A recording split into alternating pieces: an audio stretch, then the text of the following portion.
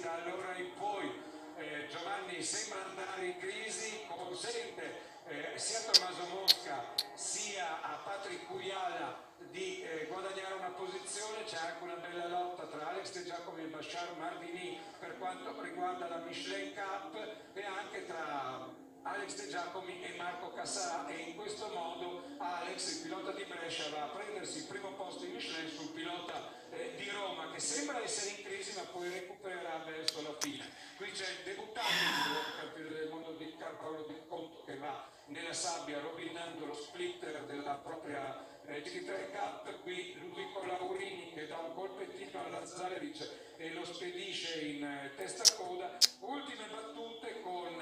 eh, Bashar Mardi che infila Marco Cassarà, Simone La Quinta che va a vincere tranquillamente, poi la volatona, prima il secondo posto tra Diego Bertonelli che regola General Right e poi guardate, eh, Tommaso Mosca che sembra rallentare leggermente Patrick Cuyala e questo permette a Giovanni Berton di passare per 9 millesimi il,